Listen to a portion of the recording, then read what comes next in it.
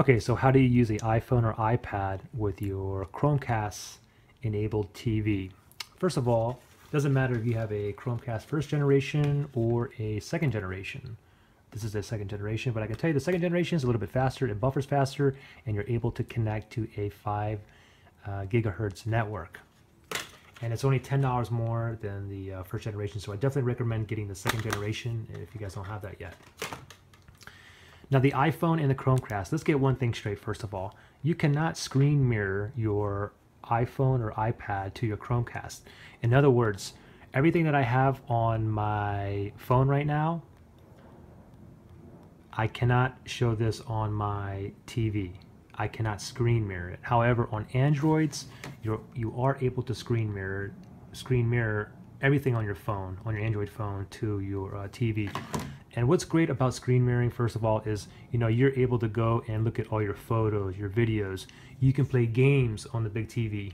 But with the iOS device, the only thing you can do is cast certain apps. So for example, you do have some popular apps, and the thing is, Chromecast is coming coming out with more apps that are going to be compatible uh, with Chromecast. But right now, you have like Hulu, you have uh, Vevo, you have YouTube, Netflix, Pandora, and let me show you that. So you cannot mirror, but you can cast. So for example, let's go to YouTube here. Let me go to YouTube.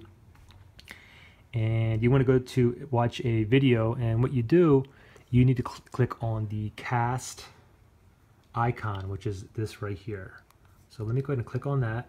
And once I click on this, my bottom menu will pop up and you can see my Chromecast here.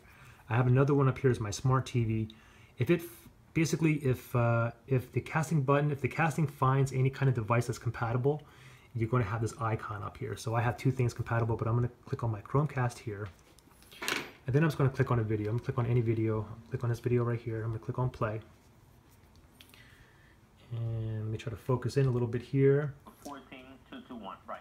That and sure let me click on another video here. Let me, let me go to this video here. So after you and the great thing is now from here, now this is not screen mirroring. You see whatever I'm playing on my uh, on my my phone is going to my TV, but it's not an exact duplicate.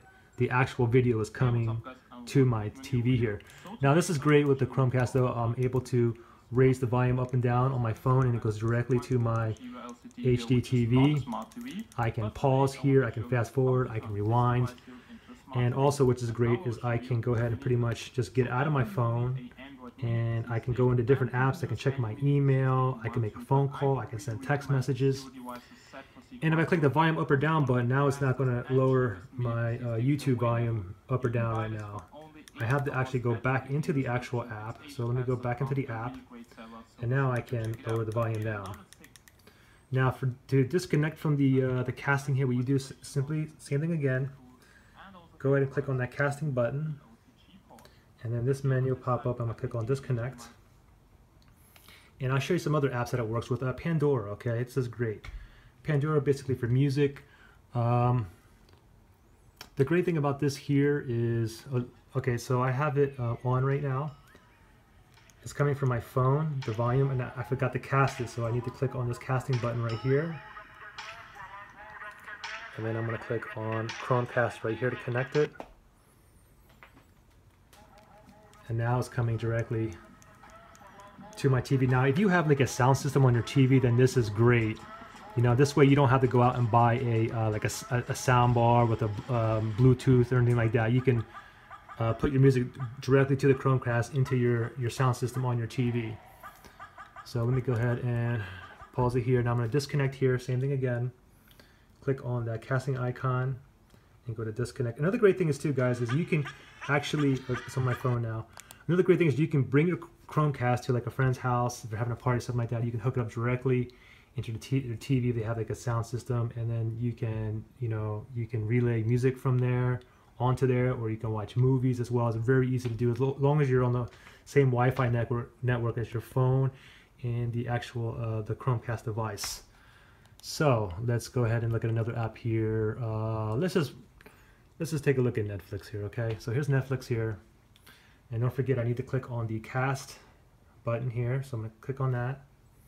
And then this will pop up here. I'm gonna click on Chrome, Chromecast. And then let's watch any movie here. I don't know, let's watch a cartoon, I guess. click on that. And we'll watch the, uh, I guess the first episode. I click on play here. You can see that it's uh, casting to the Chromecast.